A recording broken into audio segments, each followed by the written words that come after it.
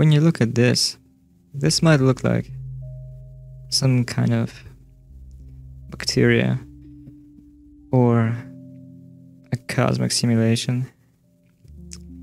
But this is just a very simple um, particle simulation that simulates repellence and attraction between particles. And even though it's so simple, we can still see interesting patterns, interesting behaviors that may remind us of life. I think this is very interesting thing to look at. So let us together look at the birth of this universe and just observe its different uh, creatures and their behaviors and the different shapes that we'll uh, see, you know, and just the way they interact with the world.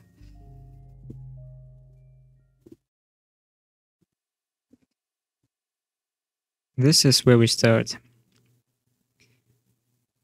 A random distribution of particles with different colors. The rules are very simple. Some particles attract each other. Others repel each other. Right now, there's nothing special going on. It might even remind you of the night sky. But let's see what happens if we let the particles do their thing.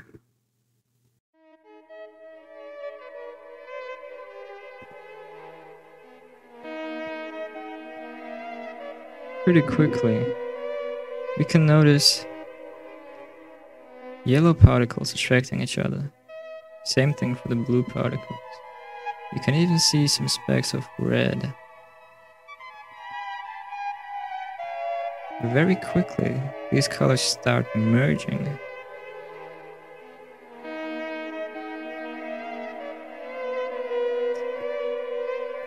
And they almost instantly start using other colors as basically fuel. We can see a simple form of moving creature here. And suddenly there are lots of them.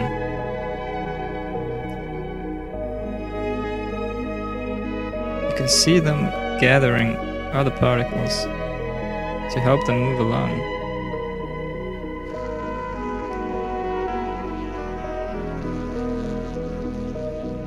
Even now we have different shapes. Sometimes they collide with each other and can make new shapes. They evolve into different shapes that help them move along better.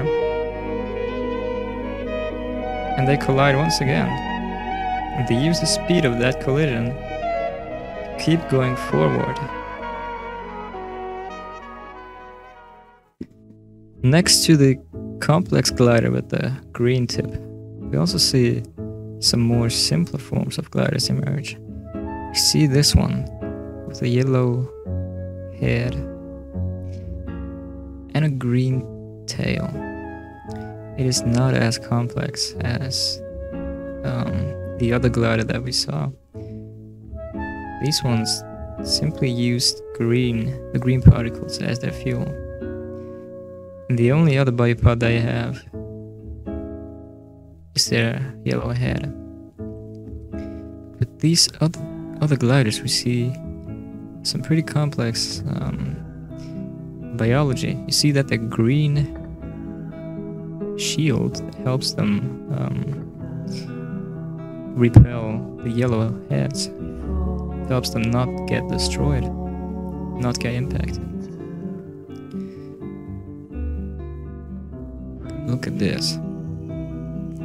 We just saw a collision. As a result, that glider just expelled some green particles. These green particles are now at a place that they wouldn't usually be in. And this will help them uh, merge together with other particles, forming um, different shapes, maybe new creatures. Who knows? We can see the orange and the purple um, merging together there.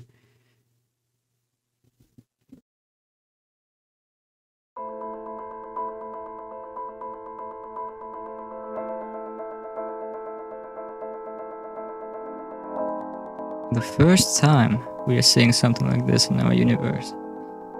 A glider expelling green and purple particles, leaving them behind to make a new glider. This is a form of giving birth, which is pretty interesting to think about. Here we have the same type of glider, cruising along our simulation. This glider has six different body parts. At the bottom, which is the part that it moves forward with, we see a purple shield. In this specific specimen, the shield is not very big, which means that it is more vulnerable to getting disturbed by other gliders or other kinds of creatures that well, that live here. Then we have the second layer, a layer of green particles. The green particles seem to be the source of speed for most creatures in here. Um, which leads me to think that this is probably the thing that gets repelled by the most particles. Then the third layer is some kind of red body I don't know how to explain its function. And then we have a more circular blue part, and then we have two very interesting particles, one orange and one purple particle, serving as a kind of tail. Maybe the purple particle is just another shield, but just very underdeveloped. You see just one particle in there. So let's observe it and see what it does.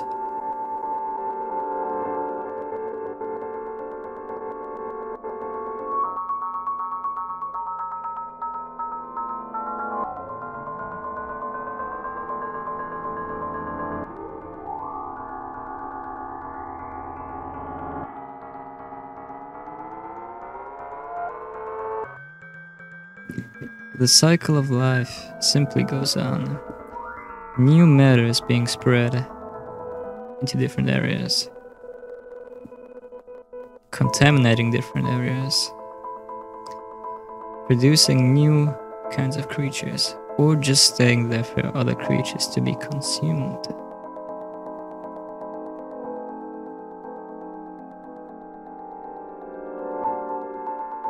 This method of reproduction has seemed to become the new normal for these gliders, who now seem to be moving in what I would call fish-like movements.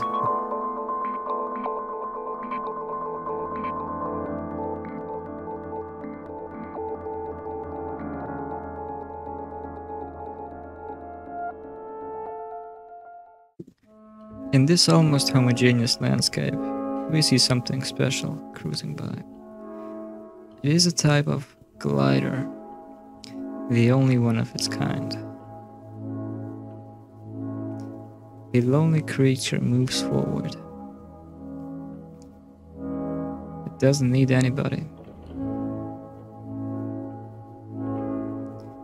This is the only thing it can do move forward, repelling yellow particles.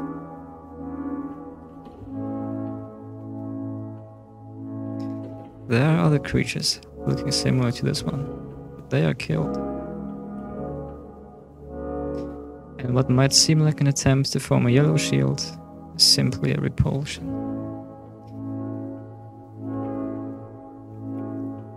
And as it can sometimes happen, it gets dangerously close to another glider, and it gets killed.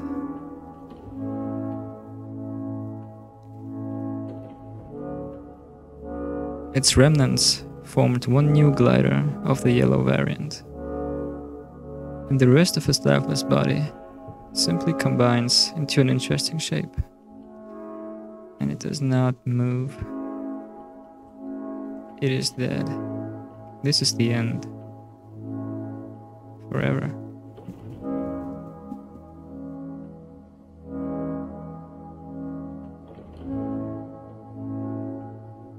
On the other side, we can see a glider consuming what is left of its head.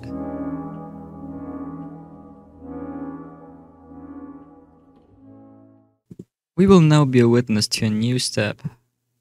that we haven't seen before.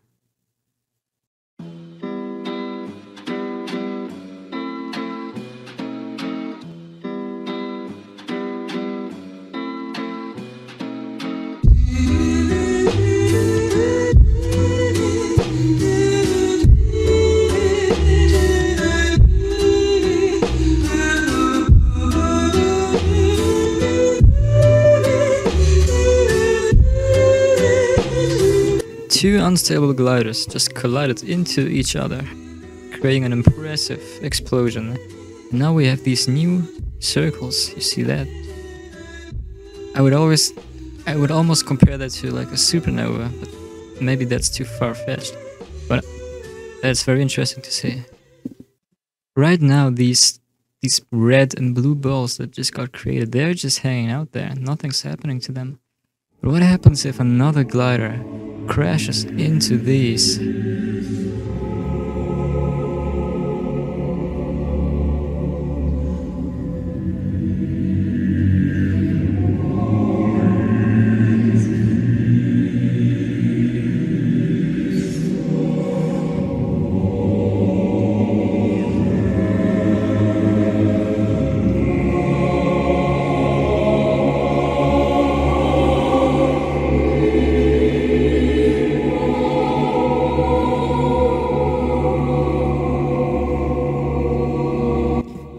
Just watched one glider collide with these balls.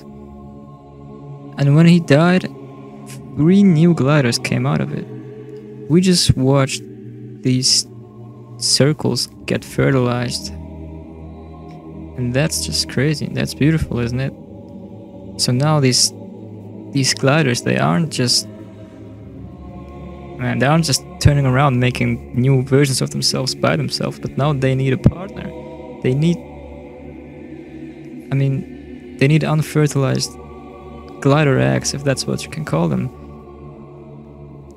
Isn't that crazy? And this glider had to sacrifice himself in order to make these three new gliders out of. Yeah, it's. I really like that.